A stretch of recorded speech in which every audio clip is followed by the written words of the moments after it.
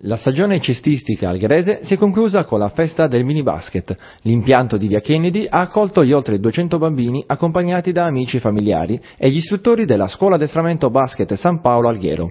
In questa stagione il settore maschile, coordinato da Francesco Lai, ha raccolto ottimi risultati con l'Under 17, l'Under 14 e gli esordienti. Il settore femminile, che vede Antonello Muroni quale responsabile, ha partecipato ai campionati Under 17, Under 15, Under 14, Under 13 16 ed esordienti, festeggiando la convocazione di Elena Bardino nella squadra regionale sarda Progetto Azzurrina e di Delia Galiano alla Jambor Rosa di Napoli, dove sono state chiamate tre sole sarde tra le 72 cestiste provenienti da tutta Italia. La responsabile del settore mini basket, che conta 150 iscritti, è invece Loredana Mellai.